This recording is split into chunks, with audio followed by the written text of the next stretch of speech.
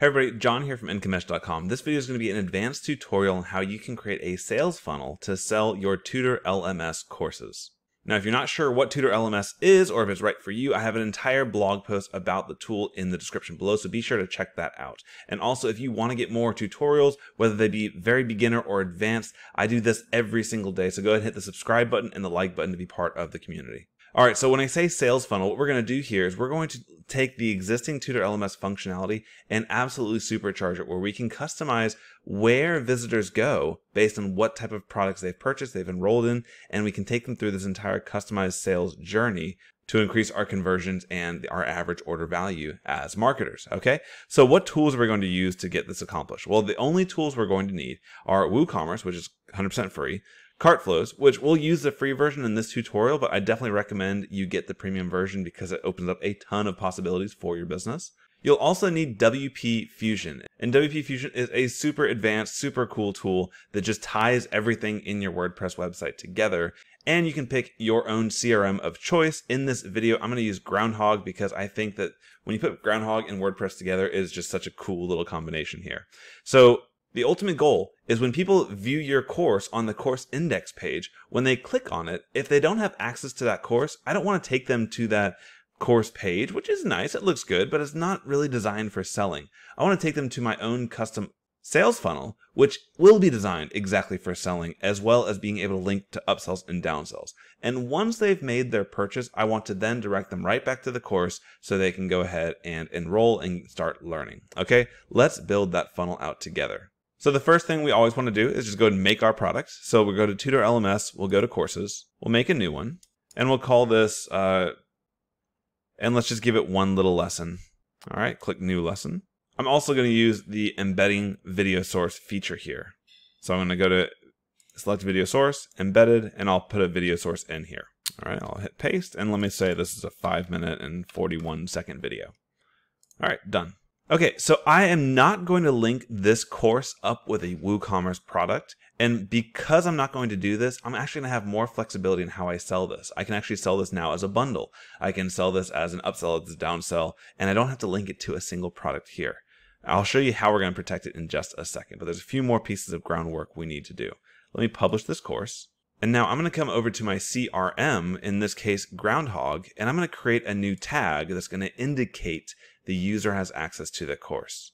So I'm going to call this Sales Funnel 101 Purchased. I'd also recommend you add one that's refunded, uh, you know, Sales Funnel 101 refunded. This is just good nomenclature to keep your uh, your contacts organized. Okay, so I have our tag. The next thing I need is I'm going to want to go into WooCommerce and actually create the product that's going to be linked to this course. So I'll come here, I'll click Products, Add New, Sales Funnel 101 course, and I can give this a price. Let's say this is going to be a $97 course. And under WP Fusion, if you've installed WP Fusion and you have the premium version, which you can get with my affiliate link down below, you'll be able to go in and actually give them a tag upon the purchase of an item. So here I want to give them the tag of Sales Funnel 101 purchase.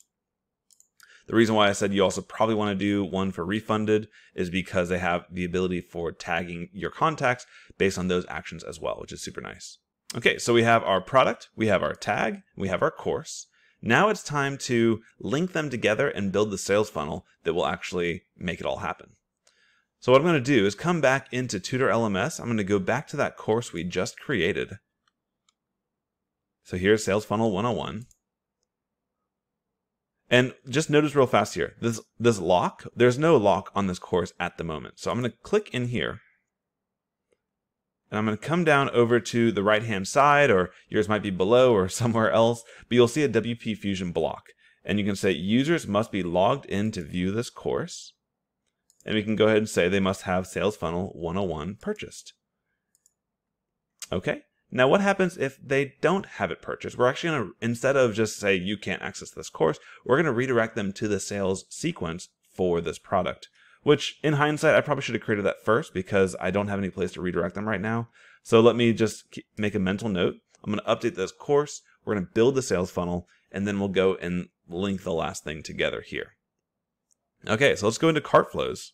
And I know we're using a lot of tools and we're going pretty quickly, but this is a very intuitive process once you've done it once or twice. So let's go to our ready-made templates, and let's just pick a very simple template here. I'll go to this evergreen product.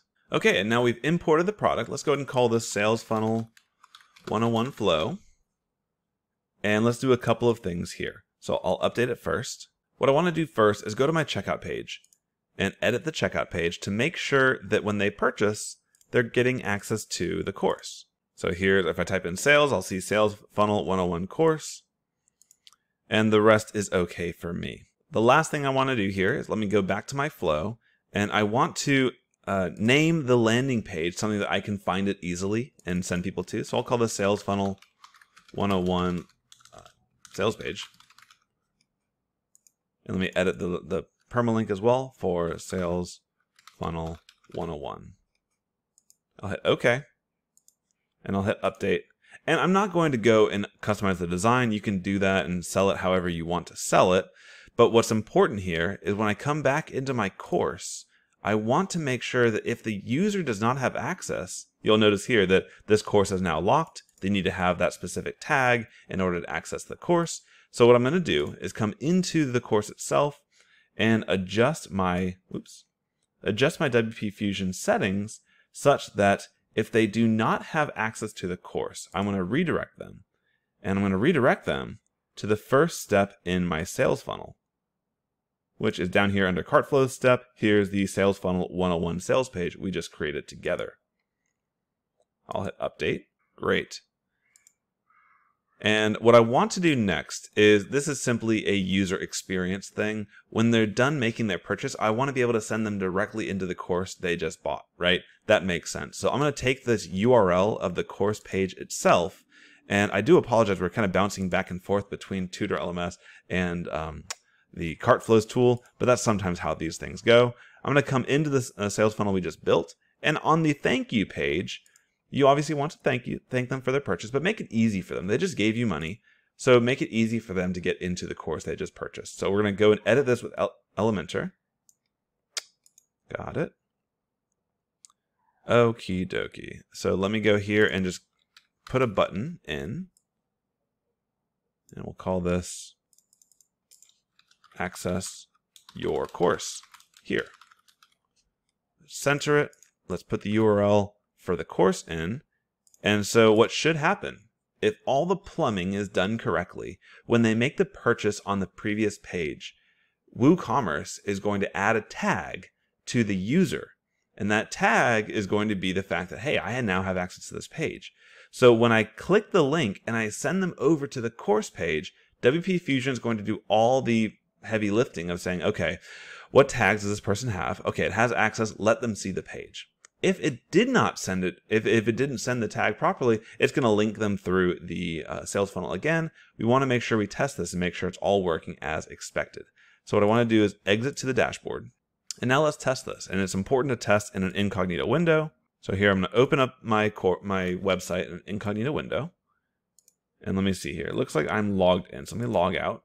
Okay, so here I am on my online learning management course, and so I'm going to go to my course archives. So you can still browse. I didn't add a uh, didn't add an image here. I should have done that probably.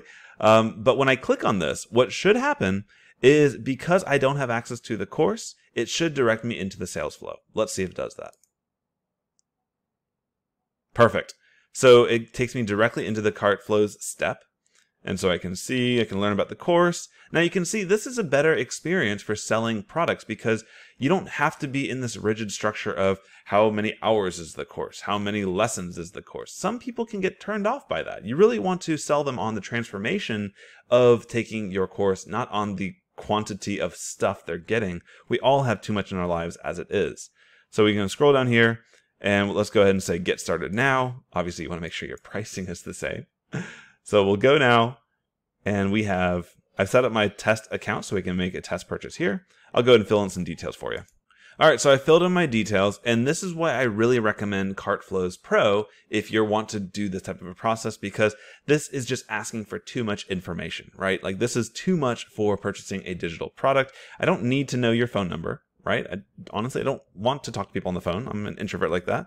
But you don't need to know where they live unless it's EU, like European Union um, value added tax and things like that.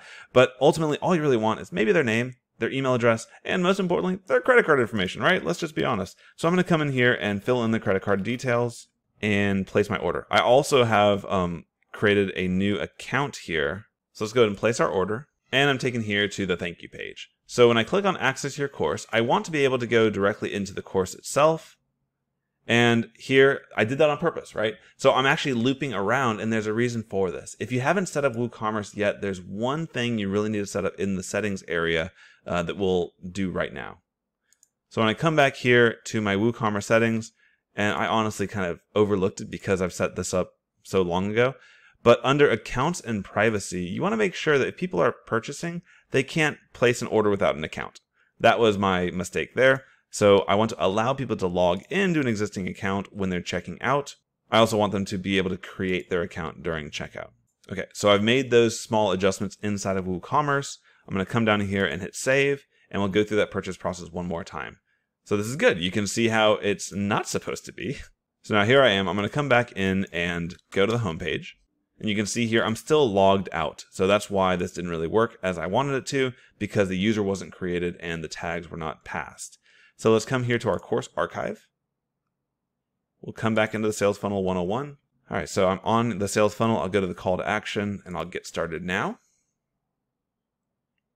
So now you can see um, it has the returning customer log in here. So if you have an account, you can log in. Otherwise, it will create a new account for you on this page. So now I'm going to go ahead and use a new email address just to make sure everything is unique. And let's check out one more time. Okay, so everything looks good. Here's my price. Here's my information. I'll go ahead and place my order. Okay, so now I can see that my account has been created. My order's been received. I'm looking at my email address on the other side here. So we saw what happened when the tags weren't passed correctly. Let's see what happens when they were. Now I can access my course and you can see here, you can enroll in it right now. So I'll click on enroll now and now I can go through and I've got access to the course instantly. It'll also now show up in my enrolled courses. I can see here, Sales Funnel 101. And I can go ahead and start the course and it'll take me directly to that lesson. And here you can see also the um, embedded feature of custom video hosting. So you have all the you know, customization you really want to build that experience for your users individually. This was a little bit of an advanced tutorial. We covered a lot of different tools, WooCommerce, WP Fusion, Tutor LMS, Groundhogg, even for just a little bit. But what we created was the ability for us to sell our courses in a way more flexible and conversion optimized way than what is built in directly to any one of those individual systems. So this is one of those where the sum is greater than the individual parts put together. Uh, what you can create here is a lot of customization and a lot of power with your marketing online. All right, guys, I'm John from IncomeMesh.com. If you are a little bit confused on what tools you should be using for your business, go ahead and click on the link in the description below. It's incomemesh.com slash stack. I've created a very simple 90 second quiz that helps you figure out what the right digital marketing tool sets for your particular personality types and what you're trying to achieve with your online business. So, so be sure to go check that out and I'll see you guys in the next video. Take care.